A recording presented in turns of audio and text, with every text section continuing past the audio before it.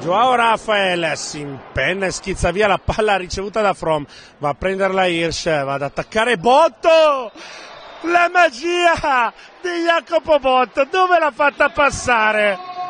Dove l'ha fatta passare?